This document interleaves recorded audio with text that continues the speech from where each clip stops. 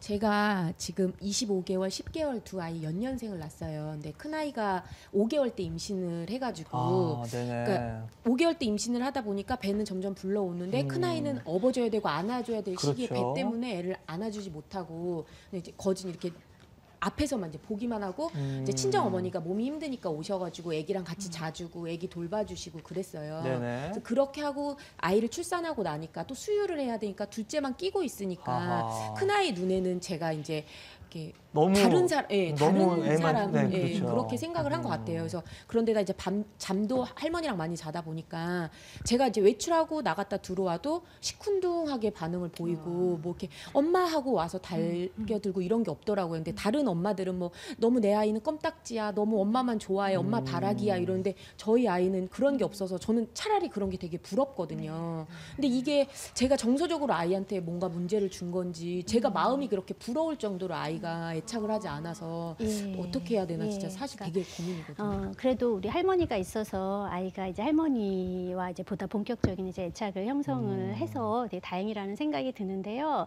어, 애들이 귀신 같아요. 그 예전에 애 어른들이 아웃하기를 한다라고 하는데 엄마가 나도 임신 사실을 모르는데 갑자기 이렇게 큰 애가 짜증을 막 내고 막 부쩍 안아달라고 그러고 업어달라고 그러고 막 그러는 경우가 있어요. 애들이 본능적으로 생존을 위해서 알아차리는 거거든요. 근데 5개월이면 애들이 6개월부터 본격적으로 엄마 아빠 알아보고 애착 형성을 해야 되는데 엄마가 5개월 때 임신을 하고 그럼 두 달째 입던 막 했을 거 아니에요. 그때부터 사실은 아이를 아이들과 본격적인 애착, 안정적인 애- 애착 형성 못 했다라는 거거든요.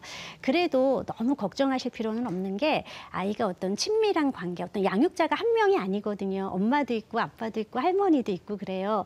물론 엄마에 대한 애착이 가장 강한 강도로 이루어지긴 하지만 다른 양육자들과도 아이들은 다 애착을 형성을 하게 돼요. 그리고 걱정 정말 안 하셔도 될 게 아이는 지금 이제 본격적으로 자극과 탐색을 추구할 때예요.